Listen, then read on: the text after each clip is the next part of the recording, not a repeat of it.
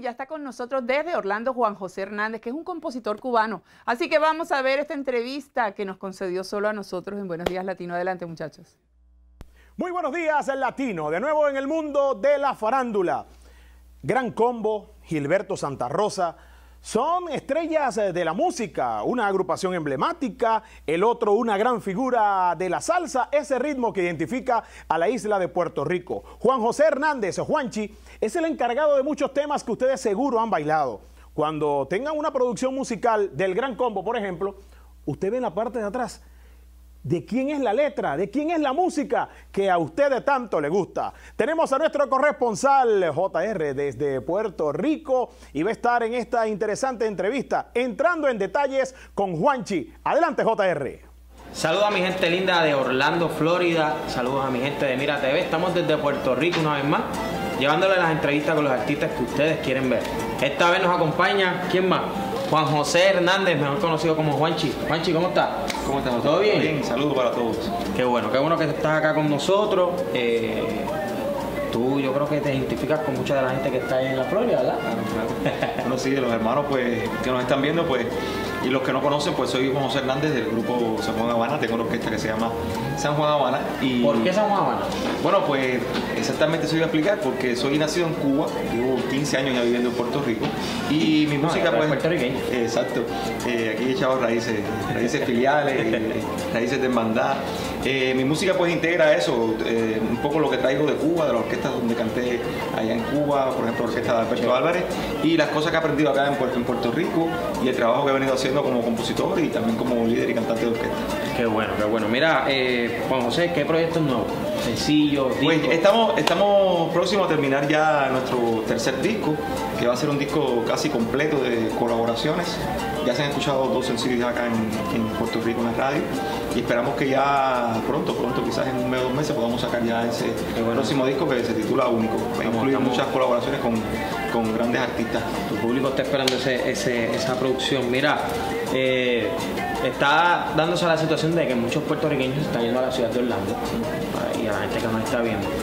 Eh, y los fanáticos tuyos que se mudan hacia allá quieren, Quieren ver, quieren escucharte, quieren ver tu show, quieren comprar tus discos. ¿Cómo tú ves eso, verdad? Que, que, que nos ayude a nosotros los artistas a llevar nuestra música. ¿Cómo tú ves ese, ese crossover, como lo decimos? Yo creo que, que- que a través del tiempo, tú sabes, la- la- las personas siempre han emigrado y eso es lo que nos ha hecho también a nosotros, nuestra música, que tenga tantas influencias y entonces pues ahora esta, este éxodo que hay de- de puertorriqueños hasta hacia, hacia la Florida, hacia Orlando, pues yo creo que eso transporta también un poco de lo que estamos haciendo acá en, en Puerto Rico y, de cierta forma nos ayuda porque se da a conocer nuestra música. Sí, se están dando hasta los festivales, los el, el famoso festival de la calle San Sebastián, ahora se lo están llevando para allá. Nuestros hermanos puertorriqueños que, que van a la Florida van a buscar eh, eh, nuevos horizontes, ¿no? Se nos abren nuevas puertas y pues también se nos abren nuevas puertas a nosotros también, a nuestra música. La música es como los libros que, que viaja, ¿no? Y, y- y sigue y dura siglos y siglos. ¿eh? Y entonces pues eh, tu música va a viajar también y Eso es bien importante, eso, eso es bien importante. Mira, la gente que te está viendo, quiere, quiere escuchar algo, tú traes una guitarra ahí, yo una guitarra ahí, yo no toco guitarra. ¿Qué hacemos tú? No, ¿Ah? No, no, no, no, yo, yo estoy, yo estoy hablando hoy. Bueno, de- eh, el Gran Combo me grabó una canción que se llama La espuma y la ola, que se escuchó mucho en la radio. Entonces, vamos a hacer por lo menos el corito. Yo no quiero ser la espuma, ser la ola, quiero ser la ola. Porque la ola regresa y en cambio la espuma, la arena la ahoga. Que yo no quiero que me den trofeos si no los merezco. Si me engalanan por fuera, por dentro no crezco, yo no quiero ser la espuma que la ola empuja, porque aunque llego me quedo en la orilla y solo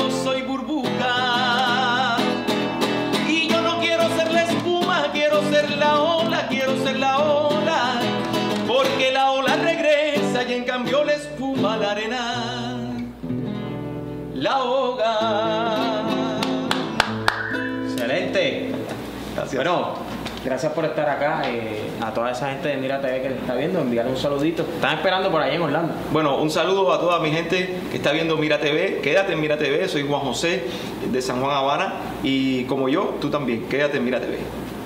Seguimos.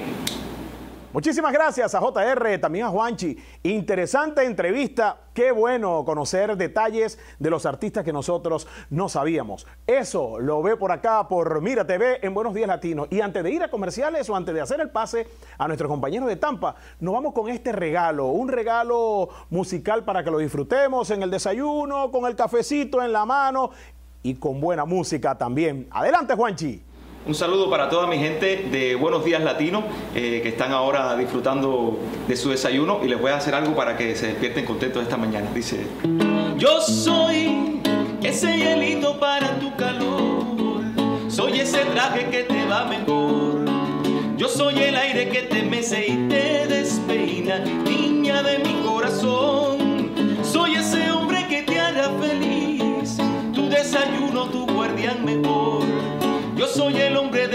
y de tu vida, el hielito para tu calor.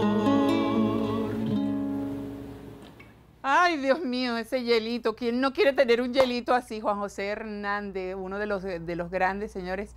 Teníamos conteo regresivo que la hizo tan famosa Gilberto Santa Rosa. Y también ella, eh, cómo se ella, ella se menea, algo así me estaba diciendo Carlos José. Excelente. Bueno, muchachos, los felicito. Gracias, Panchito, y gracias eh, por, este, por este hielito tan rico. Y déjeme decirle que si usted quiere ser parte de esta gran familia de Mira TV, lo estamos invitando a que este es el momento porque estamos solicitando representantes ejecutivos de ventas. Si usted tiene, eh, tiene esas cualidades y quiere formar parte de nuestra familia, pues es el momento porque estamos esperando por usted. 813 221 3100 813-221-3100. Estamos esperando por ti. Señores, y les tenemos también un poco más detalles sobre lo que pasó en el Festival de Cine Gasparilla. Así que ustedes no se retiren. Vámonos a una pausa y regresamos con ustedes.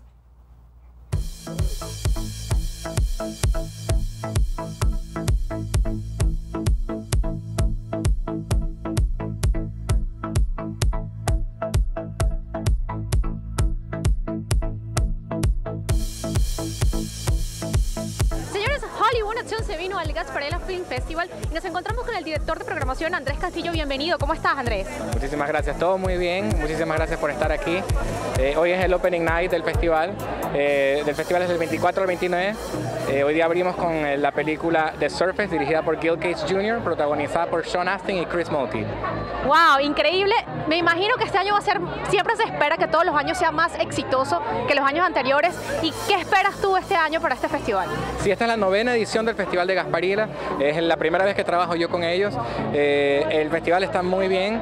Eh, dura, como dije anteriormente, de martes a domingo. Esperamos que venga el público. Hay películas de todas partes del mundo, latinoamericanas, europeas, hay documentales, cortos, todo tipo de ¿Tienes alguna película en especial quizá que ya de repente viste la, la antesala, el preview y dices, bueno, esta es la que yo quiero ver? Bueno, esta me encanta. La que vamos a ver ahora de Surf es una de mis películas favoritas porque las actuaciones de Sean Astin y Chris Mulkey son espectaculares. Sean Astin es muy conocido por una película que se llama Rudy, también una que se llama Los Goonies y El Lord of the Rings. Chris Mulkey, las últimas que hizo, que él está es eh, Whiplash, que está nominada al Oscar ahora y también está eh, pues en muchas otras películas. Y pues estamos muy contentos de tenerlos a ellos aquí, es una gran oportunidad. Así es, así es. Y bueno, Tampa y la ciudad de Tampa se viste del séptimo arte y nosotros estamos muy contentos también de comenzar hoy el Gasparella Film Festival. Muchísimas gracias por la entrevista.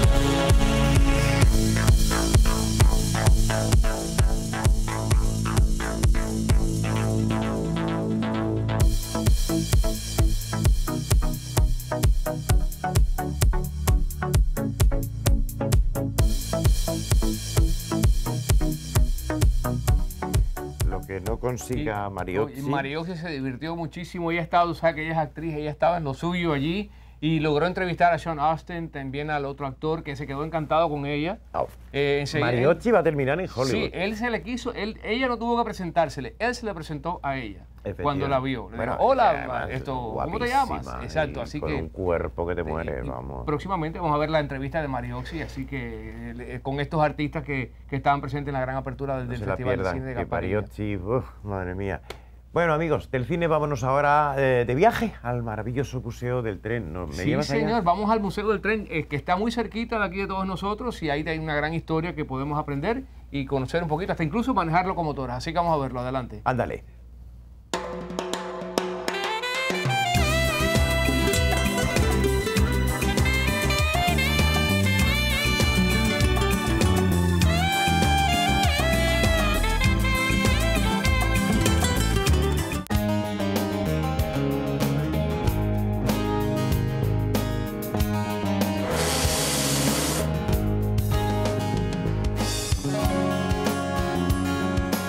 El tren llegó a la Florida en 1860, traído por Henry Flagler y posteriormente expandido por Henry B. Plant, precursor de desarrollo de Tampa. El Museo del Tren se encuentra en la costa oeste del estado y por ello se concentra en la historia ferroviaria del área. Luego de que Flagler estableciera el ferrocarril a través del este de la Florida, el señor Plant se encargó de extenderlo desde Jacksonville a Cayo Hueso y luego hacia el área de Tampa, para poder conectarlo con su línea de barcos de vapor que viajaban hacia Cuba. Luego de la muerte de Plant, la compañía Atlantic Coast Line compró el servicio de trenes y los unió a los de otras empresas ferroviarias de Virginia, las Carolinas y Georgia. En el museo podemos apreciar trenes de vapor que se utilizaban en esa época. También se puede viajar a bordo de ellos y hasta incluso manejar una locomotora. Los niños estuvieron fascinados recientemente porque el trencito Tomás estuvo de paso por el museo. El trencito Tomás fue creado por un escritor inglés en una historia para niños y sus aventuras son famosas en todo el mundo. Si buscas algo interesante que hacer durante un fin de semana, entonces te recomendamos visitar el Museo del Tren de Parrish, en la carretera 301, justo en las afueras de Bradenton. Los trenes son limpios, los voluntarios son muy amables y podremos conocer y disfrutar la historia ferroviaria del área a bordo de trenes de vapor y de otros tipos.